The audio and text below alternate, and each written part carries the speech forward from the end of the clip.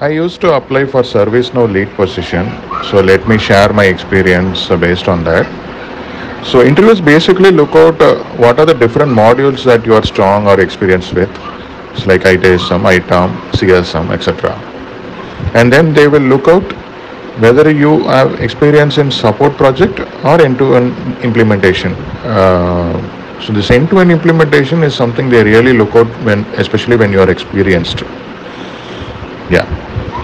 And then um, it's all scenario based, very much uh, scenario based.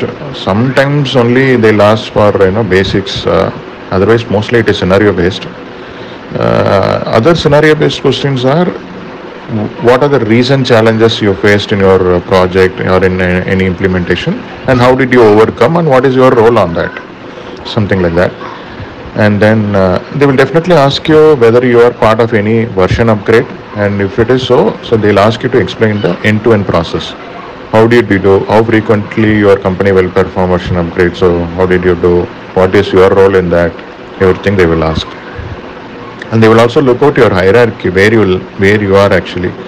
Uh, whether you are reporting to architect whether you are reporting to some project manager or lead so that they can understand. So where is your position and then um, recently i have an experience with one of the interviewer where he asked me to open a PDI instance and share my screen to write scripts.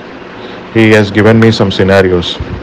For example uh, I, I want to know the number of incidents uh, which is in the category of uh, software uh, as simple as that. And then uh, they'll ask also ask you to write any uh, go with any scenario but use glide aggregate method and what is the purpose um, then they ask me to uh, differentiate simple dynamic and uh, advanced uh, types of uh, reference qualifiers how it differs each other uh, sometimes basic questions like how do you differentiate UI policy with data policy?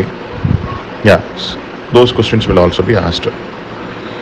Uh, sometimes scenario based again they'll come back and ask uh, if you are uh, who's handling the requirement uh, from customer uh, whether you're part of those discussion if you are part of it then what is what will be the challenges like if requirement scope changed or creep at last minute so how did you face those situations? So how will you explain the challenges and equally how, how will you make uh, the business understand last minute changes affecting you?